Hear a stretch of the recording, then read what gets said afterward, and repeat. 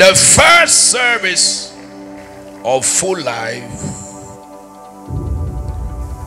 was four people. Then we became five. Then we became nine. Then a breakthrough happened. We became 13.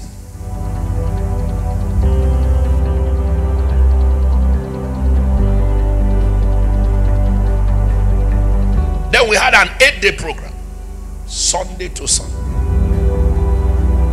In fact, practically that was that was just that week of visitation. The first service we had, the broken down car of the landlord was still inside the hall.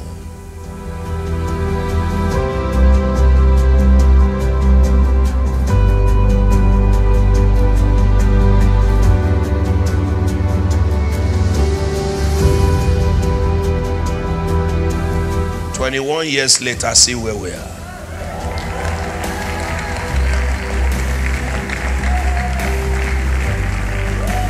See where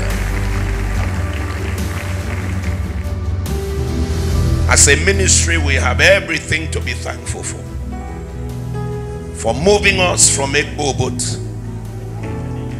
moving us to Women Development Center, to Ibom Hall, moving us from Ibom Hall to Dominion Hall, moving us from Dominion Hall to Old Noah's Ark, moving us from Old Noah's Ark to Celebration Arena, moving us from Celebration Arena to the new Noah's And one day he will move us from the new Noah's to the crown of glory sanctuary.